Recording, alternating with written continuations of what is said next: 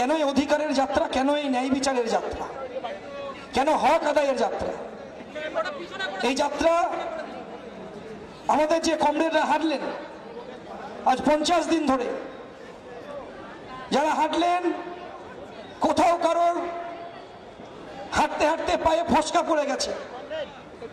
তবু হাঁটা থামেনি। পায়ে যন্ত্রণা হয়েছে। তবু হাঁটা থামেনি। একটা সময় খাবার কথা আমাদের এই পদযাত্রীরা হয়তো সেদিন রাস্তা অতিক্রম করতে করতে বেলা পাঁচটার সময় খেয়েছেন। রাত্রি বারোটা পর্যন্ত, এগারোটা পর্যন্ত বিছানা পাইনি। তারপরেও সকাল সাতটার সময় উঠে আবার হাঁটা শুরু করেছেন। এই যে কমরেডরা দেখলেন, কারোর বাড়িতে আটত্রিশটা কেস আছে তবু পদযাত্রায় হেঁটেছেন। এমন পরিবার থেকে পদযাত্রীরা এসেছেন। খেতমজুর পরিবার, সে যদি বাড়িতে উপার্জন না করে, সংসার চলবে না, তবু হেঁটেছে। শহীদ পরিবারের কমরেড, পদযাত্রায় হেঁটেছে। এই অনাবৃষ্টিতে ধানের খেতে জল জমে ধান নষ্ট হয়ে গিয়েছে। একদিনের জন্য বাড়ি যায়নি। ইনসাফের দাবিতে লড়াইয়ের রাস্তায় নেমেছে। আমাদের যারা গাড়ি চালিয়েছে, তাদেরকে কোনো ড্রাইভারের বেতন লাগবে না। আমাদের কমরেড তারা। স্ত্রী অসুস্থ। অপারেশন টেবিলে অপারেশন হচ্ছে। আমাদের কমরেডরা দেখাশোনা করছেন। ইনসাফ যাত্রা ছেড়ে যাননি। রাত্রেবেলায় এগারোটার সময় পদযাত্রা শেষ হয়েছে। স্ত্রীর ছুটি হয়েছে। বাড়িতে রেখে এসেছে। বেলা দুটোর সময়, রাত্রি দুটোর সময় আমাদের কাছে উপস্থিত। কারণ সকালবেলায় আবার ইনসাফ যাত্রার গাড়িটাকে বাই করতে হবে। এরা আমাদেরকে শিখিয়েছে। অনেক কিছু শিখিয়েছে। এই কমরেডদের কাছে যার যা দায়িত্ব, কারোর মশাল ধরানোর দায়িত্ব, সূর্য ডোবার আগেই মশাল জ্বলেছে। কাল থেকে হয়তো জ্বলবে না ইনসাফ যাত্রার মিছিলে, কিন্তু মশাল জ্বলবে পশ্চিমবাংলার প্রতিটি বুথ এলাকায়। কাল সকাল থেকে হয়তো এই যাত্রায় তিন দিনের মিছিল আমরা সাজাবো না। কিন্তু পশ্চিমবাংলার প্রতিটি বুথে আমাদের কমরেডরা মিছিল সাজানোর জন্য রাস্তা তৈরি করে দিয়েছেন অস্ত্রটাকে ধার দিয়েছেন আর সেই লড়াইয়ে পা মিলিয়েছেন আমাদের কমরেডরা। এগোচ্ছে। ইনসাফ যাত্রা কেন? বিরাট একটা সন্ধিক্ষণ। দশ বছর, এগারো বছর পরে বামপন্থীদের পক্ষে একটা অ্যাটেনশন এসেছে। ইনসাফ যাত্রার মধ্যে পশ্চিম বাংলা। যখন পাড়া, যখন বোধ যখন গ্রাম ছুঁয়ে আসছি চা বাগানের শ্রমিক যন্ত্রণার কথা বলেছেন। ইনসাফ যাত্রায় হাউমাউ করে কাঁদছেন একজন বাচ্চা মেয়ে। দুবার গ্যাং রেপ করার পরেও তৃণমূলের নেতারা অ্যারেস্ট হয়নি। ইনসাফ যাত্রায় রাত্রের অন্ধকারে এসে ভয় ভয় করেও ইনসাফ চেয়ে গিয়েছেন।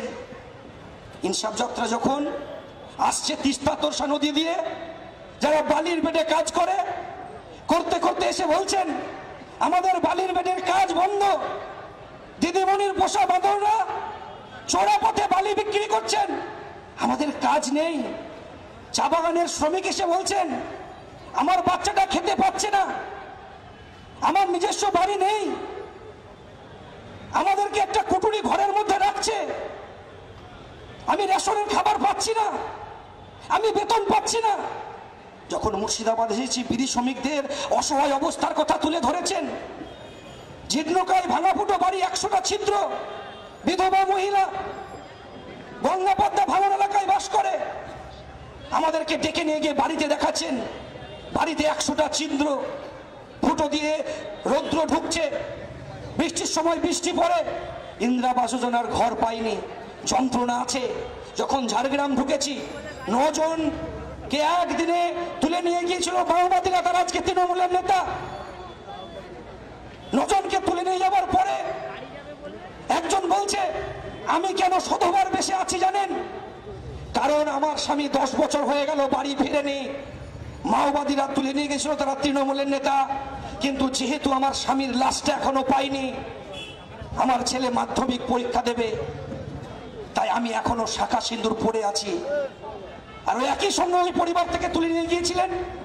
একজন মহিলা বলছেন যে, আমি কেন শেখা সিঁদুর করি না জানেন? আমি কেন বিধবার বেশে জানেন? আমি আমার স্বামীর দেহটা পাইনি ঠিকই, কিন্তু নদীর ধারে একটা কঙ্কাল পেয়েছিলাম। সেই কঙ্কালে ভীমার হাড়ের বদলে একটা রড ভরা ছিল। ওই রডটা দেখে চিহ্নিত করে আমি আমার স্বামী ভেবে আমি বিধবার বেশি এসেছি। আমরা বলছি, যন্ত্রণার কথা, ইনসাফ যাত্রা এসেছে।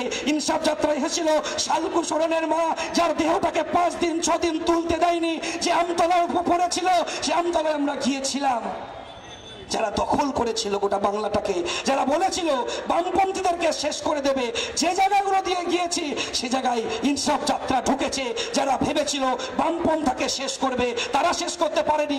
যারা আমাদের নেতাদেরকে জেলে ঢুকিয়ে রেখেছিল, তারা আজকে বাইরে আছে। আর যারা ঢুকিয়েছিল, তারা আজকে কম্বল ধরিয়ে জেলে বসে আছে। আমরা ইনসাফ চেয়েছি আমাদের কাছে যে বাংলায় প্রতিদিন প্রতিনিয়ত আজকের সময়ে দাঁড়িয়ে রাজ্যের মুখ্যমন্ত্রীর বেতন বাড়ে মুখ্যমন্ত্রীর বেতন সাত হাজার পাঁচশো চল্লিশ টাকা থেকে রাজ্যের এমএলএদের বেতন দু লক্ষ দশ হাজার টাকা হয়। কিন্তু আমার পার্শ্ব শিক্ষকের বেতন বাড়ে না, আমার বেতন বাড়ে না শ্রমিকের, আমার বেতন বাড়ে না। পরিযায়ী শ্রমিকদের আমার বেতন বাড়ে না সিভিক ভলেন্টিয়ারদের দিয়ে পাই না।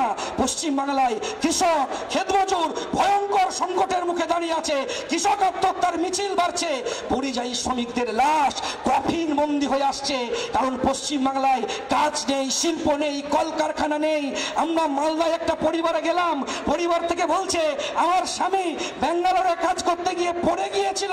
পড়ে যাবার পরে, তিন দিন, চার দিন পরে দেহটা বাড়ি এসেছিল ঠিকই, কিন্তু দুটি চোখ নিয়ে গিয়েছিল। চোখ দুটো যে কোথাও উধাও হয়ে গেল, আমরা চোখ দুটো পেলাম না। আমি আমার স্বামীর দেহ পেয়েছিলাম ইনসাফ চেয়েছে, ইনসাফ যাত্রায়। আর ইনসাফের লড়াইকে আরও এগিয়ে নিয়ে যেতে হবে। আর আমরা বলেছি, এই দীর্ঘ পথ অতিক্রম পঞ্চাশ দিনে উনত্রিশশো দশ কিলোমিটার পথ অতিক্রম হয়েছে। আরও পথ হাঁটতে হবে, কারণ গোটা বাংলার যৌবন আজকের সময়ে দাঁড়িয়ে নতুন ইতিহাস রচনা করার রাস্তায় নেমেছে। আর আমরা বলেছি এই সন্ধান আর এই লড়াই, এই বিরাট লড়াই, এই লড়াই ডিওয়াইফাই একা লড়তে পারবে না। কারণ এই লড়াইটা কঠিন লড়াই। এই লড়াইটা ডিওয়াইফাই ইনসাফ যাত্রার কল দিয়েছিল ঠিকই। ডিওয়াইফাই সাতই জানুয়ারি ব্রিগেড সমাবেশের কল দিয়েছে ঠিকই। কিন্তু এই যে সন্ধিক্ষণ, এই সন্ধিক্ষণে দাঁড়িয়ে আমাদেরকে চৌমাস্তার মোড়ে দাঁড়াইছি, আমরা একটা জংশন পয়েন্টে দাঁড়িয়ে আছি। এই জংশন পয়েন্টে দাঁড়িয়ে আপনাদের কাছে আমরা আবেদন করছি, আপনারা আমাদেরকে রাস্তা দেখিয়ে দেন, আপনাদের দেখানো রাস্তাতেই আমরা যেতে চাইছি বাঁ দিকে যাব না ডান দিকে যাব না সামনের দিকে এগোবো। তাই আমরা ছাত্র, যুব, মহিলা, কৃষক, শ্রমিক গণ আন্দোলনের নেতৃত্ব রিক্সা চালক, ভ্যান চালক, টোটো চালক, সকলের কাছে আমরা জুয়াইফাইয়ের পক্ষ থেকে আহ্বান জানিয়েছি, আসুন আপনারা আপনাদের আমাদের হাত ধরে এগিয়ে নিয়ে যান। আপনাদের সাহায্য নিয়েই আমরা সাতই জানুয়ারি এক ঐতিহাসিক ব্রিগেড সমাবেশ করতে চাইছি। যে ব্রিগেড সমাবেশ হবে, আমাদেরকে অন্ধকার পথে ব্রিগেড সমাবেশ, যে ব্রিগেড সমাবেশ হবে আমাদের কাছে নকল এজেন্ডার বিরুদ্ধে, আসল এজেন্ডা মানুষের সামনে নিয়ে আসার জন্য ব্রিগেড সমাবেশ, আমাদের ব্রিগেড সমাবেশ হবে, ভালোবাসার ব্রিগেড সমাবেশ, আমাদের এই ব্রিগেড সমাবেশ হবে, আগামী দিনের নতুন দিশা দেখানোর ব্রিগেড সমাবেশ। এই ব্রিগেড সমাবেশ হোক, স্পর্ধার ব্রিগেড সমাবেশ। তাই সকলের কাছে আহ্বান জানাব, আসুন সকলকে ঐক্যবদ্ধভাবে আগামী দিনের লড়াইকে আরও মজবুত করতে, পশ্চিমবাংলায় বুথ এলাকায় যে বারুদ বিছানো হয়েছে, এই বারুদকে একসঙ্গে জ্বালিয়ে রাখতে হবে। আর সে বারুদ কিন্তু অন্য কোনো বারুদ নয়, ভালোবাসার বারুদ বিস্ফোরণ ঘটাতে হবে। সাতই জানুয়ারি ব্রিগেডের ময়দানে আসুন, সকলের হাতে হাত দিয়ে আগামী দিনের লড়াইকে প্রশস্ত করি। সকলকে অভিনন্দন, লাল সালাম জানিয়ে আমার কথা শেষ করছি। ইনকলাব জিন্দাবাদ ডিওয়াই পাই জিন্দাবাদ।